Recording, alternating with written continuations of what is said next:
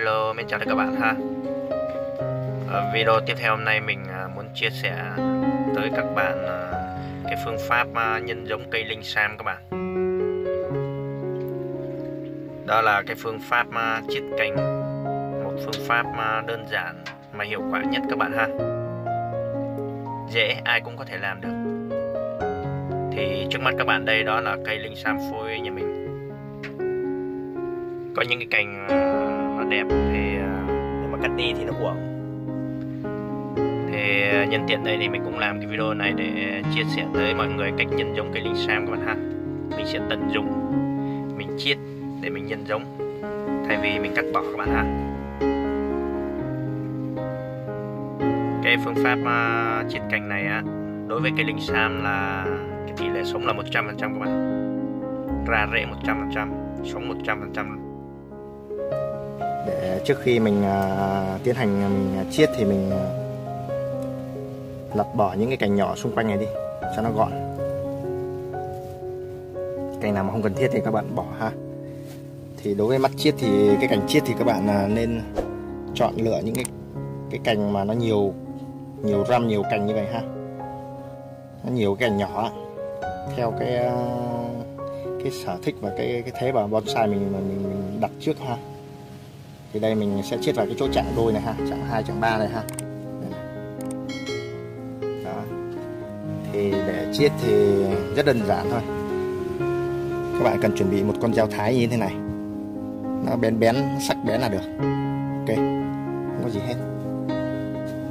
Đó sẽ chiết sát vào cái cái, cái, cái chặng chặng hai chặng ba này ha. Đó, nếu mà mình uh, chiết ở đây thì sau này cái cành chiết của mình nó sẽ có cái gốc đẹp đó. thì mình sẽ dễ tạo thế bonsai hơn ha. Đó, các bạn đặt đặt như vậy. Bạn khoanh.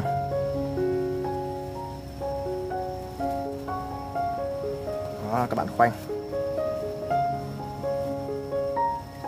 Khoanh một vòng tròn cho đứt hẳn cái, cái lớp biểu bì cái lớp da ra các bạn ha. Đó.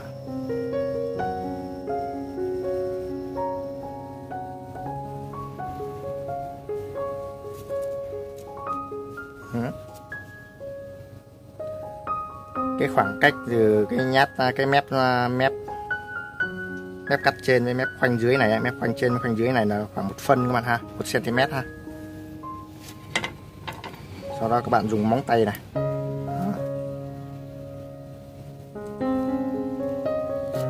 Bạn lột cái vỏ ngoài ra ha.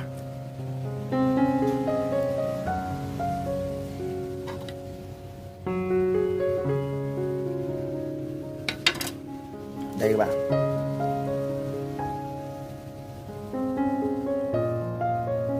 Đó, mình đã lột ra rồi ha. Sau khi các bạn lột ra thế này à các bạn thấy cái lớp thân gỗ bên trong ạ các bạn dùng con dao cạo xuống này nha. Đặt ở trên cái mép à, cái cành chiếc của mình ạ đặt từ cành trên này, mép trên mình cạo xuống. Các bạn lưu ý là phải cạo cho thật sạch ha, cho hết cái lớp xanh xanh, cái lớp da non ấy đi ha. Bạn cạo càng sâu vào cái lớp gỗ bên trong thì càng tốt.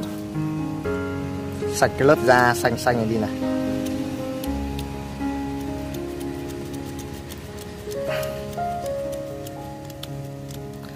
Các bạn lưu ý là cạo từ trên đây xuống nhé.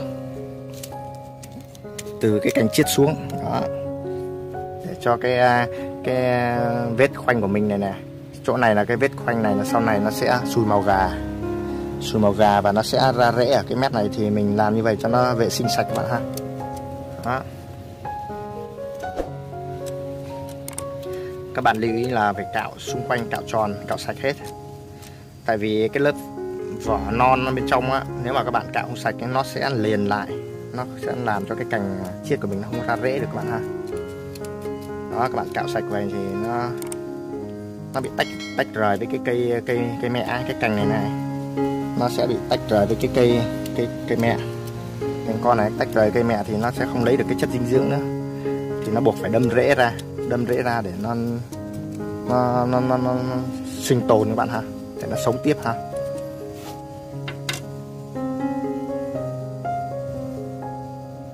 Đó các bạn thấy rõ không? Mình cắt mình khoanh rồi mình cạo sạch như thế này ha. Cạo ra cái lớp gỗ trắng bên trong bạn ha đó. Thì khi mà mình khoanh mà mình cạo được cái cái nốt ghép như thế này rồi á, cái khoanh cái khoanh khoanh khoanh khoanh chiết như thế này rồi á, thì các bạn cứ để trên cây nhiên, tự nhiên như thế này thôi, không phải làm gì hết á. Cứ để tự nhiên, từ 5 cho đến 7 ngày. Đó, khi mà thấy cái cái mép khoanh này này nó sùi màu gà, nó sùi màu gà lên á là lúc đó mình sẽ lấy bầu mình lấy lấy bầu mình sẽ bầu lại ha. Đó nếu mà các bạn làm theo cái, cái kinh nghiệm à, cái cách chiết này của mình á, thì mình cam đoan đảm bảo cho các bạn là những cành chiết của các bạn sẽ sống 100% và tỷ lệ ra rễ là 100% luôn. Ok. Sau 5 ngày thì cành chiết nó sùi màu gà như thế này các bạn ha đó. Thì bây giờ mình sẽ làm bầu và mình bầu lại cho các bạn coi ha. Bước thứ hai thì ờ, bây giờ mình sẽ làm cái bầu để mình bầu bầu cái cành chiết lại ha.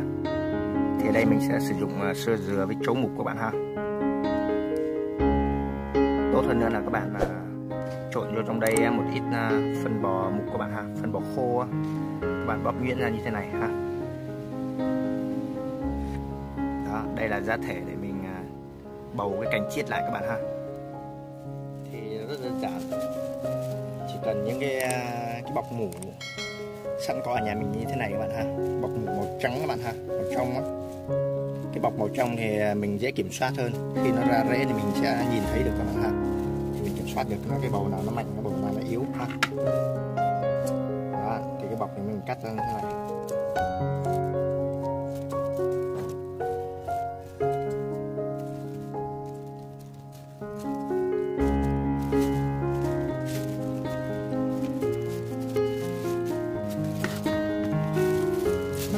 Cần ờ, giá thể bó bầu bầu sợi dây đơn giản thế thôi. Đó, cái bọc này thì mình ờ, cắt làm tư các bạn. Tùy theo cái bầu lớn bầu nhỏ thì các bạn cắt cái bọc nó to ra ha.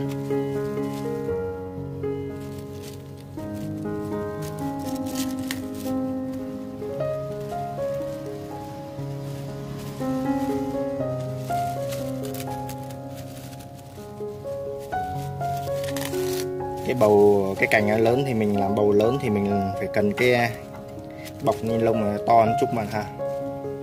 Mình căn tùy theo cái cành bầu cành chiết của mình. Đó. Thì trước tiên thì cái dây này. Đó, các bạn à, làm cái à, nút thắt. Tạo một cái nút thắt trước nhé đó.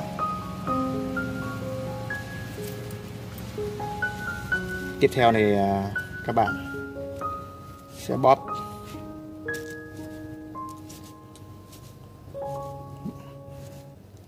Bóp cái à, cái đất trộn này à, thành một cái cái bầu hình quả trứng như này các bạn ha. Đó. Các bạn để lên à, vào cái bọc ni lông như thế này. Các bạn cho vào cuộn. Các bạn cuốn lại ha, giống như dễ lắm các bạn. Giống như mình à, cuốn chả vậy xong rồi mình vo một đầu lại vậy. Mình lấy cái à, nút thắt này á, thắt lại.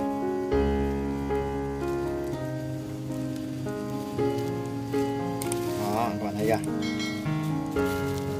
Các bạn à, túm lại cái đầu còn lại nhé cái đầu còn lại các bạn túm là các bạn xoắn cho cái bọc này cho cái đất bên trong nó chắc chắc một chút.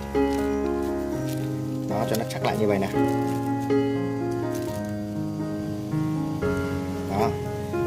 Dùng dây và cuốn. Thắt hai đầu lại.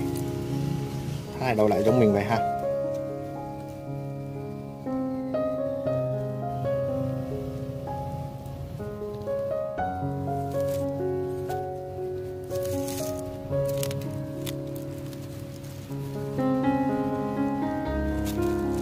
Đó, như vậy là mình được một cái bầu nhá.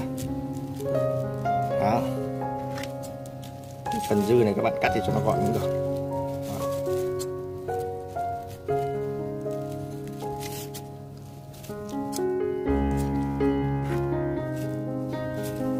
Đó. Các bạn thấy chưa?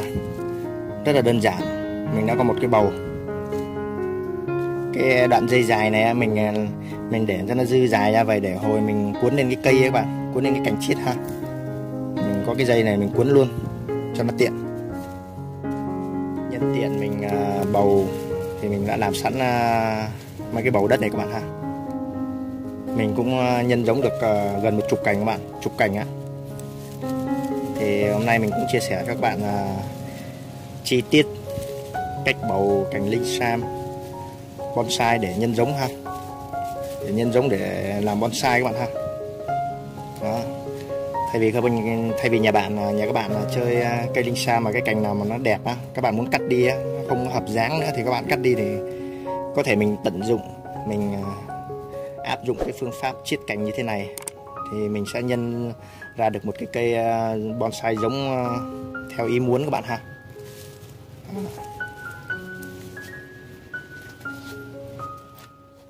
Thì cái bầu nãy mình làm đây, thì các bạn thấy không? Cái cái lưng này, cái bụng này bây giờ các bạn đặt cái dao nhá đặt con dao các bạn rạch một đường. Rạch một đường thẳng từ trên xuống dưới như thế này. Đó. đơn giản lắm các bạn. Rồi các bạn banh ra ha khẽ khẽ các bạn banh ra vậy. Đó.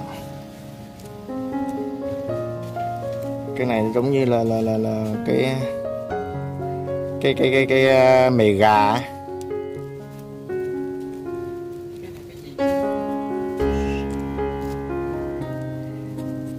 Chưa? Cái này gọi là cách bầu mề gà các bạn ha. Đó, các bạn đưa vô cái cành chiết như thế này.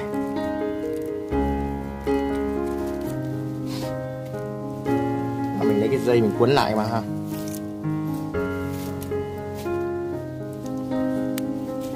Bạn lưu ý là mình ờ, cuốn cho nó chặt tay một chút nhá siết cái dây ra chắc chắc một chút cho cái bầu nó không có bị chạy mà ha. Nó cố định. Chắc chắn cố định.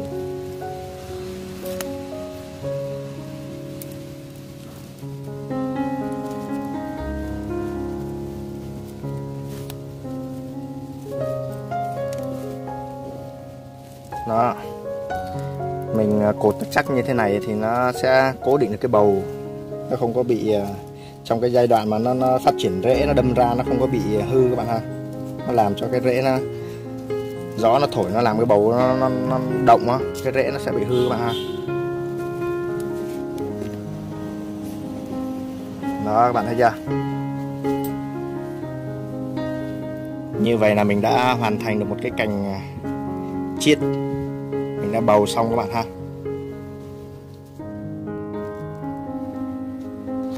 Đợi à, vài ngày nữa nó ra rễ mình sẽ quay lại cho các bạn xem ha. Xin chào các bạn ha. Thì à, cái cành chiết này bữa nay đã được à, đúng 2 tuần rồi các bạn. Đó mình đã bó được 2 tuần rồi. Hôm nay nó bắt đầu ra rễ rồi các bạn. Nó ra, nó ra rễ trắng luôn các bạn nè. Đó đang à, ra rễ rất là sung. Đó rễ non. Nó đâm thủng cái màng túi bóng luôn các bạn.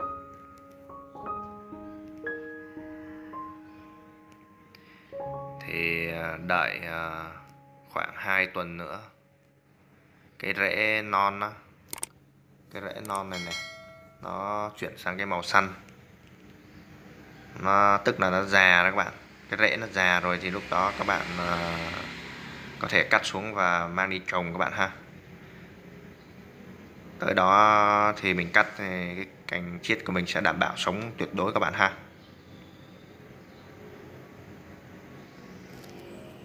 Nếu các bạn thấy video này hay hãy like và đăng ký kênh ủng hộ mình ha. Cảm ơn các bạn.